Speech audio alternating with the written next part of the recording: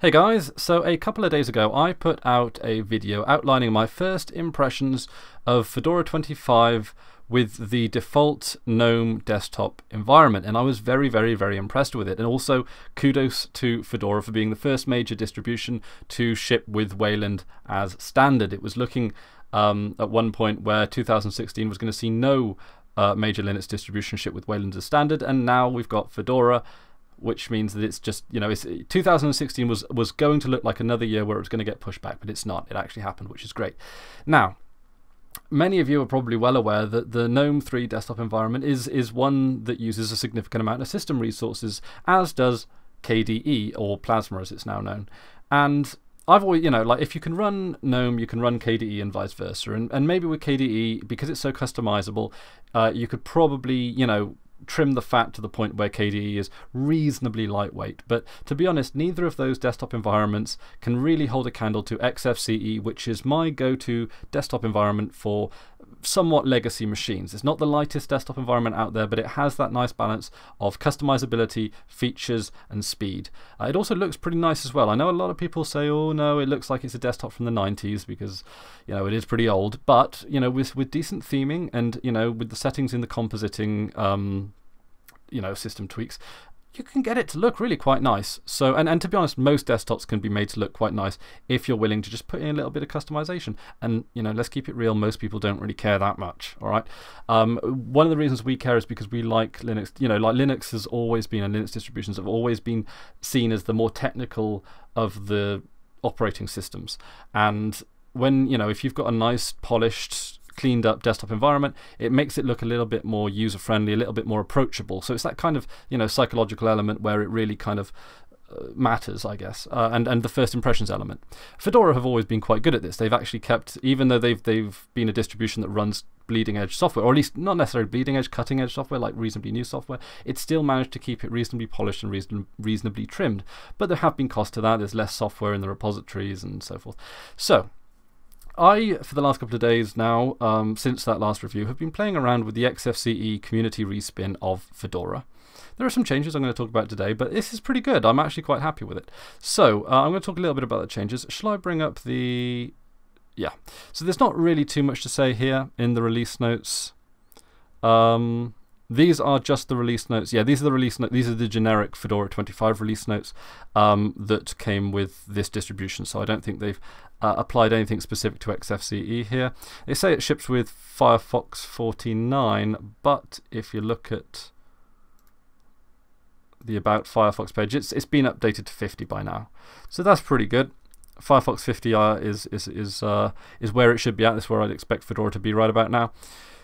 So there's not too much here. It's also important to bear in mind that Fedora tends to be a little bit more strict when it comes to free software that it ships with. It tends to be a little bit more strict, whereas Ubuntu will, will bundle a lot more um, proprietary stuff into the repositories. Fedora tend to, for the most part, keep a pretty tight ship when it comes to the free software principles, which is something I've always quite liked about it. As a result of that, you've often had to bring in RPM Fusion, which is a third-party repository, which gives you, you know, media codecs and uh, extended pieces of software and proprietary software as well. I decided not to actually put RPM Fusion on this um, trial distribution uh, just to see what it's like to not use it, what it's like to see, to see vanilla, well, not necessarily vanilla uh, Fedora, but a Fedora without third party software. Because whenever you install third party software, it always does uh, it risks stability and it risks security a little bit, a little bit. Obviously, it depends on the software, depends on the repository. RPM Fusion, of course, is you know there there are, as I understand it, um, you know like people who work on Fedora also working on RPM Fusion in their spare time and so forth. So RPM Fusion is certainly one of the better third-party one of the best third-party repositories out there. But still, you know, it's it's a simple principle to live by that um, if you can get by with your distribution's stock software, uh, it's probably best to do that. So, what are some of the things that I tried out with it? Well, the biggest difference that I did notice and I didn't necessarily like was that it didn't come with the standard GNOME Software Center. I actually had to install it separately. So this is the default standard GNOME Software Center, probably one of the best software centers that comes with, with Linux, or at least is available uh, cross-platform. Um, and it was just a matter of installing it. I just typed sudo dnf gnome dash no, sudo dnf install gnome dash software. I think was the command that I used. So it's very very simple, and it comes uh, you know just uh, installed and works right out of the box. So as you would expect, or not necessarily out of the box, but it installed it.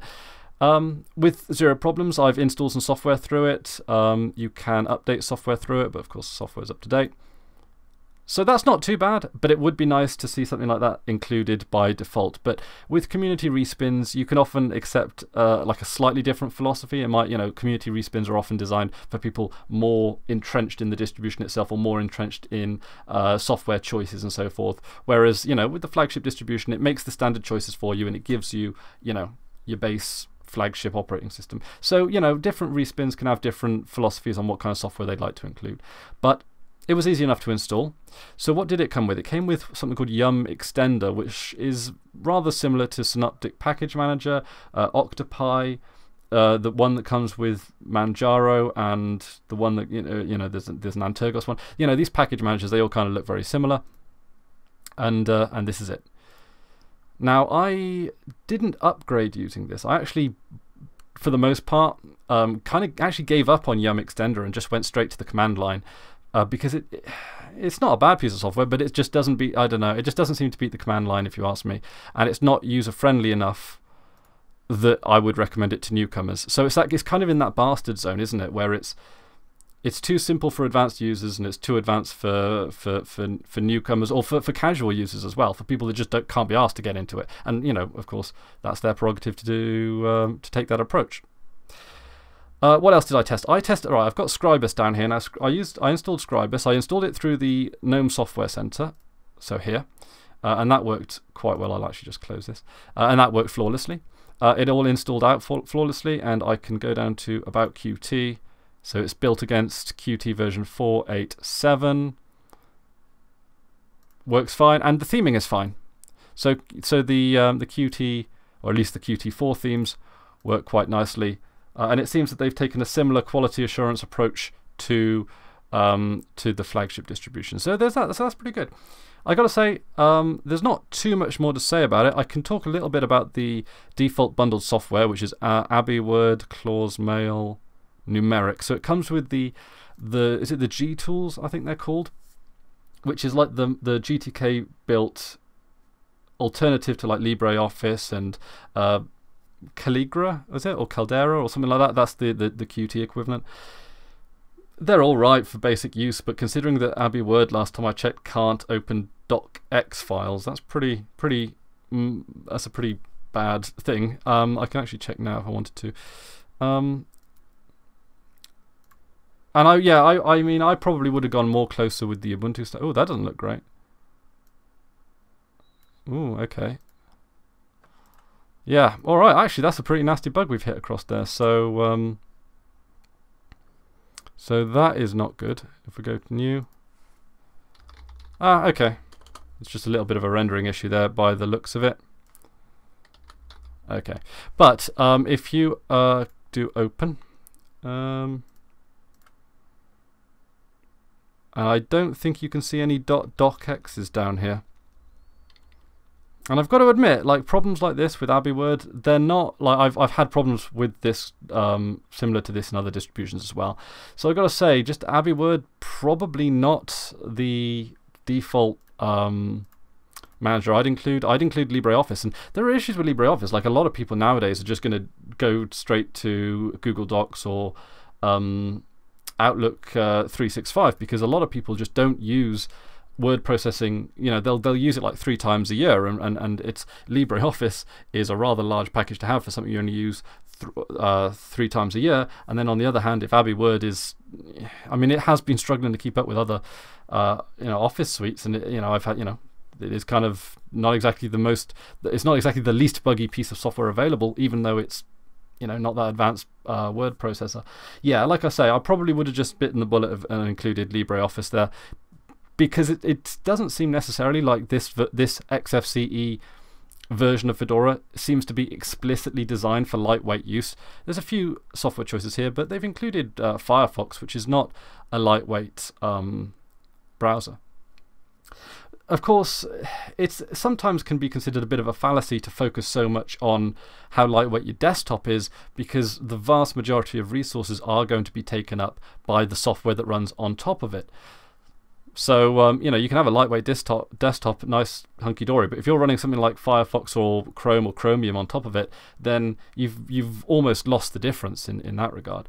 Um, but nevertheless, I've got to say, for the most part, really good um, distribution.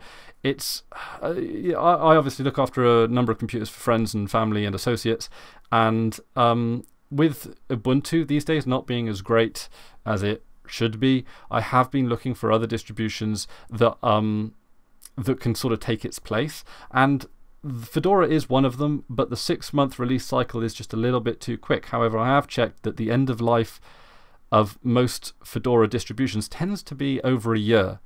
So you can update, uh, uh, you know, a year at a time, it seems, for the most part, and still have the security coverage. So it's certainly a contender. This this XFCE, it might require a little bit of setting up. And by setting up, I just mean installing software. That's the, the big issue with this is the software that comes bundled with it. Um, but it comes with transmission, Pidgin, Firefox, Claws Mail. Like these are all reasonably pretty alright choices. Parole Media Player, I would have gone with MPV myself. Comes with the Pulse Audio volume control. This is great because this means if you've got like a complicated, well, not even a complicated media setup, but if you've got USB cards and the like, this handles them really quite nicely. So that's about it, really. There's not too much to say that isn't covered in the Fedora 25 uh, first impressions review. Um, it's worth checking out if you're looking for something that's a little bit more traditional, a little bit more, um, well, like XFCE. If you want XFCE on the Fedora, with the power of Fedora behind it, this is this is a good choice. This is a good choice if you can uh, work past the default software selection, which you know, let's face it, you can. Um, and of, of, you know, no distribution is going to be perfect on that front anyway. Uh, so that's about it for me today. Thank you very much for watching. Um, definitely worth checking out. And until next time, I've been Chris Were, and you've been awesome. Take care now.